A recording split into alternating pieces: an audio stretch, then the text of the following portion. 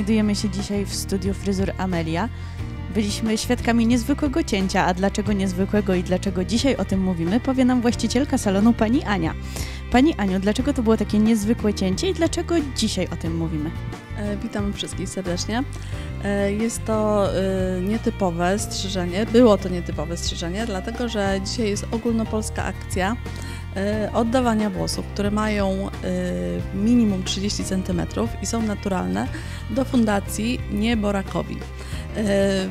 Bardzo są przydatne te włosy dla dzieci, które muszą mieć robione peruki po chemioterapii.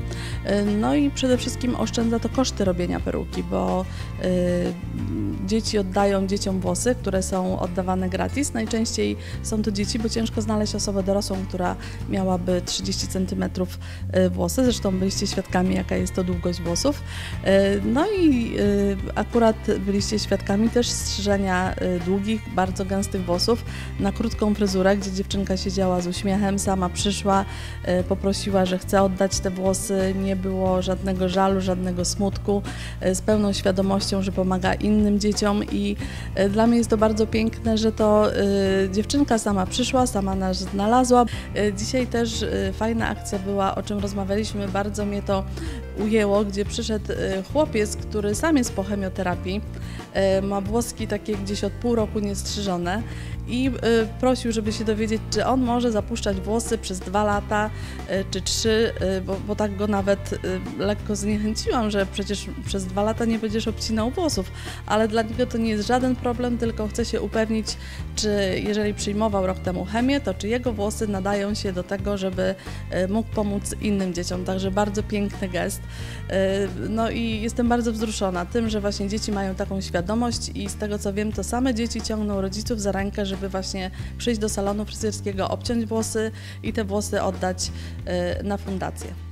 No właśnie, bo dzisiejszy dzień nie jest jedynym dniem w roku, kiedy można włosy y, ściąć i oddać y, dla fundacji. Y, Jak to wygląda? Jak trzeba się wcześniej przygotować? To znaczy tak, włosy najlepiej, jeżeli są umyte w domu dzień wcześniej lub w tym samym dniu. E, Zakładamy gumki na włosy, mierzę centymetrem, tak jak byliście tego świadkami. Muszą mieć minimum 30 cm i nad gumką są obcinane takie włosy. Generalnie jest to 4-5 ku- kucyków, które właśnie muszą być czyste, suche, naturalne.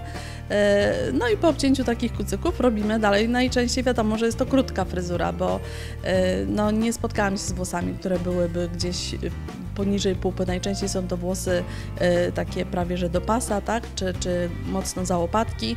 No, czym dłuższe włosy, tym fajniej. No, to jest minimum 30 cm, ale jeżeli jest to 50 i 60, to jeszcze lepiej, bo można jeszcze więcej peruk i można no, zrobić przede wszystkim perukę z dłuższymi włosami.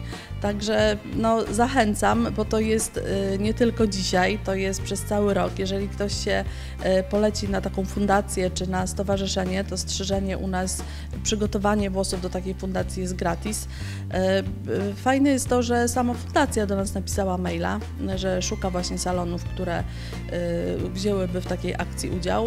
No i ja po prostu spontanicznie odpowiedziałam, podałam dane salonu, bo bardzo jestem osobą otwartą i lubię i pomagać innym i nawet się nie spodziewałam, że to będzie miało taki oddźwięk, że, że właśnie będą same dzieciaki przychodziły i prosiły, że chcą te włosy obcinać.